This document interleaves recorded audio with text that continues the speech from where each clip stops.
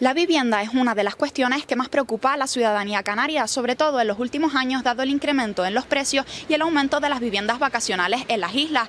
Hablamos con los concejales de vivienda de los distintos municipios del sur sureste Gran Canario para conocer los distintos proyectos que llevarán a cabo durante esta legislatura. El Ayuntamiento de Agüime lleva trabajando más de 20-25 años en la promoción de suelo para todos los vecinos y vecinas del municipio.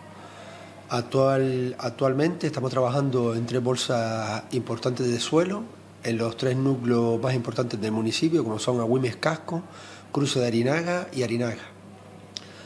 Los trabajos que más avanzados están son en la bolsa de suelo del Cruce de Arinaga, donde hay aproximadamente unas 160 parcelas que podrán beneficiarse los vecinos de unas 300, aproximadamente unas 300 viviendas.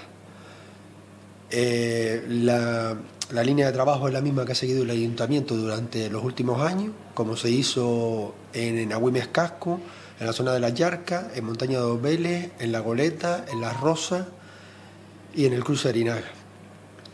Eh, la idea es promocionar los suelos para que los vecinos y vecinas de Agüime, sobre todo la gente joven, pueda seguir residiendo en el municipio de Agüime. Pues desde aquí estamos intentando trabajar sobre diferentes mm, líneas estratégicas. La primera es, estamos cediendo suelo para que el Gobierno de Canarias, que es el competente a la hora de construcción de viviendas, tenga suelo disponible y pueda construir viviendas tanto de alquiler social como de VPO. Esa es una de las medidas. Otra es mantener y seguir manteniendo contactos con las constructoras y promotoras del municipio que no han podido finalizar eh, las obras y que tenemos edificios a medio construir.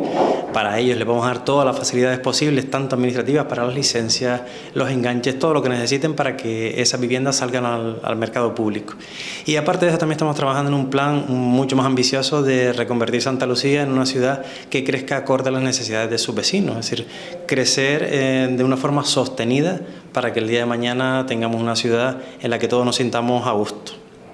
Los tres objetivos principales de la Concejalía de Vivienda del Ayuntamiento de San Bartolomé de Tirajana son, en primer lugar, la rehabilitación del parque público de vivienda asistente.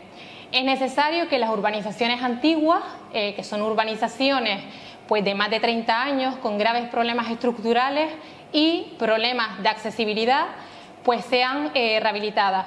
Por un lado, estamos trabajando en la ejecución de los ARRUS, que probablemente pues ya se empezarán las obras pues a mediados de 2024 de los grupos IFA, El Pajar y Las Llaves y por otro lado en la redacción de nuevos proyectos de rehabilitación de urbanizaciones para poder optar a nuevas subvenciones del Gobierno de Canarias. Sobre todo, estas últimas irían dirigidas a la eficiencia energética.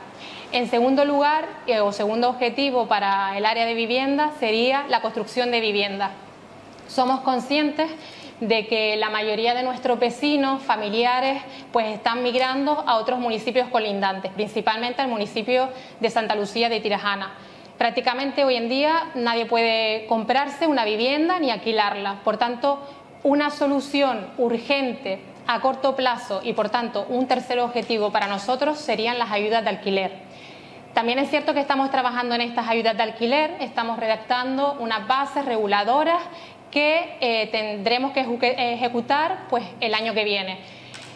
El área de vivienda dispondrá de unos 400.000 euros anuales para ejecutar ayudas de alquiler a familias trabajadoras eh, con unos salarios mínimos. En resumen, estos tres eh, objetivos unidos a otros proyectos que tenemos en marcha y que iremos desarrollando gradualmente, creo que van a suponer un cambio muy importante durante nuestra legislatura en, el área de vivienda en el Ayuntamiento de San Bartolomé de Tirajana. Bueno, ya nosotros estamos desde hace un año y medio trabajando en el tema de vivienda, el Plan Municipal de Vivienda, como así nos comprometimos en la campaña electoral con nuestros vecinos. De hecho, ya estamos terminando los diferentes proyectos, es el horno, eh, Beneguera, eh, Puerto Rico y Arquineguín. La semana pasada también en el Pleno Municipal ya se aprobó el devolver al mundo jurídico el plan parcial de Pino Seco en Arquineguín, donde el promotor privado pues ya va a iniciar las obras seguramente el año que viene porque ya se va a dar la licencia de las primeras 59 viviendas. Ya hemos tenido también conversaciones con el director de, de Vivienda del Gobierno de Canarias, también con el presidente Clavijo, para saber cuáles son las líneas de financiación a las cuales nos podemos acoger para poder desarrollar y llevar a cabo nuestro propio plan de vivienda. La idea es que Mogana está preparado, tiene sus proyectos y lo único que necesitamos es esa financiación para arrancar. Pero no obstante, como he dicho anteriormente, las primeras que se van a iniciar seguramente el año que viene son las de eh, Arguiní, las primeras 59, y después continuaremos con el resto de, de las promociones en los diferentes barrios que he dicho anteriormente.